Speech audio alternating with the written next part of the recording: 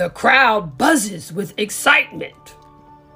The messenger unfolds the scroll. The surprise is a new event he announces. It's called the Pentathlon, featuring running, jumping, wrestling, discus, and javelin. The crowd cheers with delight. Centuries passed, and the Olympics grew and changed.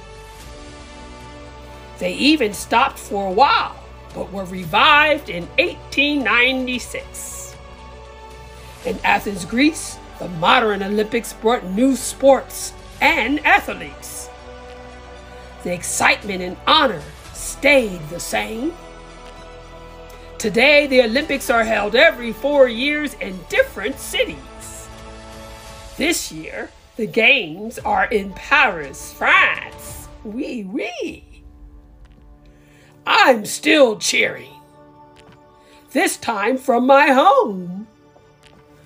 Athletes from over 200 countries compete in all sorts of amazing events, including skateboarding, rock climbing, and even surfing. I shout, Go team, go! enjoy the games.